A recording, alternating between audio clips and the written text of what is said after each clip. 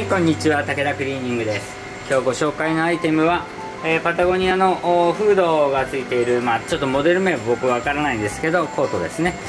えー、シミがですね、えー、たくさんありましてまあ、シミというか汚れというかね色の段差がたくさんあります。あここ傷開いてる。傷穴がある。傷穴。ちっちゃい傷穴がありますね。えーとシミ色の段差はですねポッケ、えー、ポッケのところ見ていただきますとこういったところにね、えー、シミがこうたくさんついてます。あとはこここういう風にシミですね。袖にもポツポツポツポツと細かいのがついています。奥様が旦那様のお洋服をお持ちくださってこのシミのことをですね、えー、認識してないのでこれからあシミがあるというふうなことをご連絡差し上げると思います。旦那さんは知ってたのかな？旦那さん自分で、え、来ていて、えー、このシミがあることを知っていてそれを言わずに奥さんに依頼したか？もしくは旦那さんもそれを知らないか？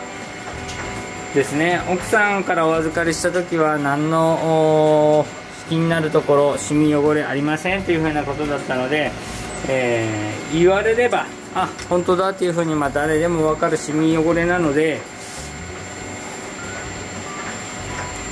お知らせしたいと思います。結構やっぱり着用に伴うあ自然な変化としての襟とか袖の汚れじゃない汚れがいっぱいついてるのでなんか飲食に伴うものかななんていうふうに思います。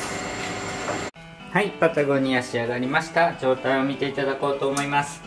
えー、シミがあったところね、えー、すごく綺麗になりました。大丈夫です。えー、とこの胸元とずっとこのポッケ。ポッケのフラップのところとかあとはこの脇のところにね目立つ色の段差がこうあったんですけども全て綺麗になっております。え薄く残ってるとかでないです。もう完全に綺麗になっております。もう全体的にもかなり綺麗になりまして、えー、お客様も見てすぐに良くなった綺麗になったことが実感できるんじゃないかなと思います。あとね傷穴ちっちゃい傷穴あったところここなんですけど真ん中ここですね。大きくなったりしていませんので大丈夫でございます。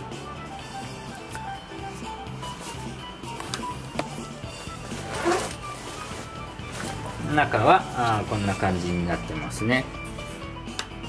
ボアフリースです。素材がえーとこちらになっておりまして。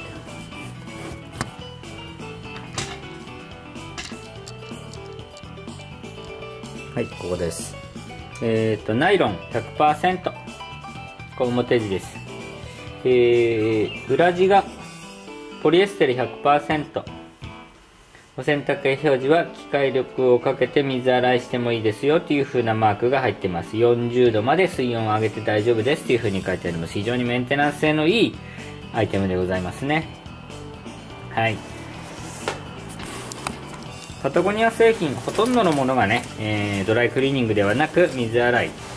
になっておりますね。だからといってドライクリーニングができないわけでもないんですけど素材の特性上水洗いできるものもたくさんありますしそのシミがですね油汚れだったりするとドライクリーニングした方が効果的に落とせるなんていうようなことがあるので、えもちろん洗濯表示参考にはさせていただくんですが必ずその通りにやっているわけではなくダメだというふうに書いてあるものでもですね大丈夫という認識のもとで、えー作業させていただくことがございます。まあ、プロセスに関しては、お任せしていただくしかない。あとはどこまで、えー、やるかというふうなこともお任せしていただくしかないんですけども、ある程度作業内容をご説明させていただき、シミ抜きをさせていただいております。このお洋服、お預かりの状態を見て、一番、うん、最善と思える作業内容をご提案させていただき、綺麗に清潔にさせてお渡ししようと思います。パタゴニアでした。ご利用ありがとうございます。